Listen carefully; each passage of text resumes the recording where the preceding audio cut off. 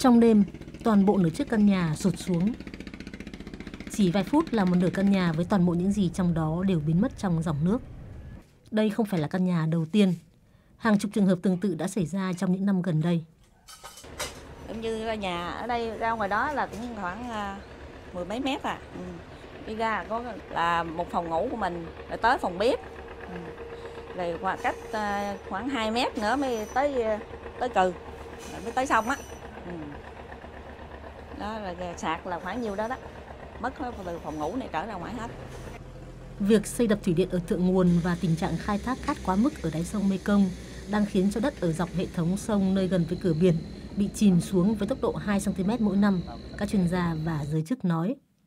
Chảy từ bình nguyên Tây Tạng của Trung Quốc dọc xuống biên giới với các nước Myanmar, Lào, Thái Lan, qua Campuchia rồi đổ vào Việt Nam, nơi sông được gọi là Cửu Long. Sông là nguồn sống, đem lại phù sa, màu mỡ và nguồn cá cho các cộng đồng dân cư dọc sông từ hàng ngàn năm nay.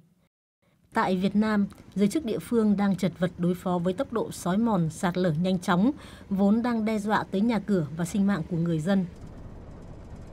Các chuyên gia nói rằng việc chặn dòng xây đập ở thượng nguồn khiến phần trầm tích quan trọng bị động lại ở các hồ chứa.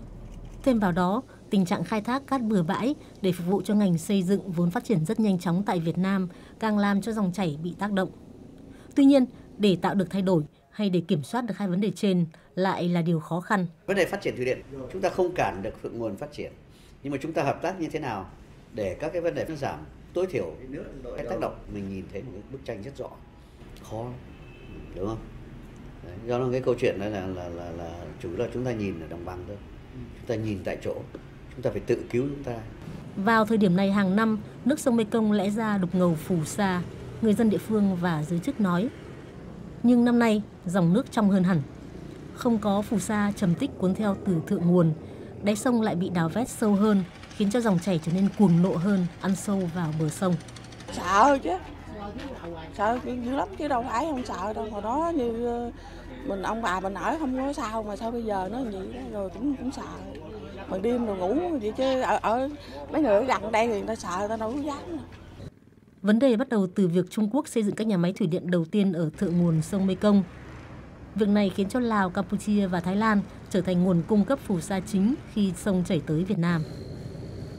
Thế nhưng, việc khai thác cát tại Campuchia đã bùng nổ từ hơn 10 năm qua một phần do nhu cầu lớn từ Singapore, quốc gia mua cát để bồi đắp lấn biển.